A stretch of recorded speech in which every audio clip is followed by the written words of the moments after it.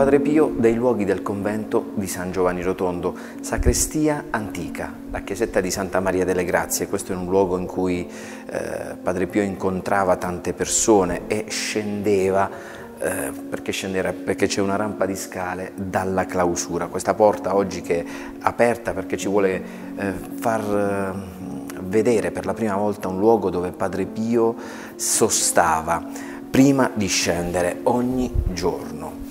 Ce lo racconta padre Eusebio Notte nelle sue memorie. Ecco, c'è un quadro dell'Immacolata dove padre Pio sostava eh, per recitare l'Ave Maria, per eh, affidare a Maria eh, tutte le sue preghiere. E Padre Eusebio Notte nelle sue eh, memorie ci racconta eh, quello che accadeva ogni giorno quando lui lo accompagnava, scendeva eh, da quest'altra rampa di scale che arrivava dalla sua cella e poi scrive padre Eusebio, ehm, appoggiava la destra su questo poggiamano e con la sinistra teneva sempre stretta la corona del rosario è arrivato proprio qui eh, con padre Eusebio sotto braccio, sostava e pregava.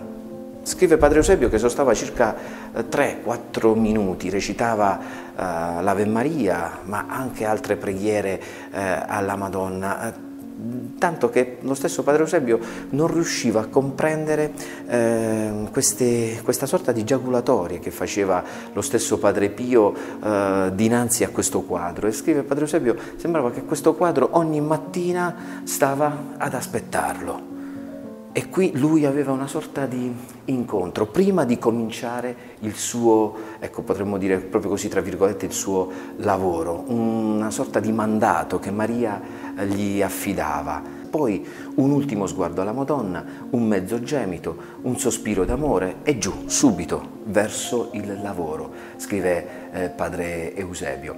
E proprio così termina scrivendo che eh, sono sicuro che l'Immacolata lo aiutava a non sporcarsi mentre puliva e purificava gli altri, ridonando così a tutti la grazia di Dio.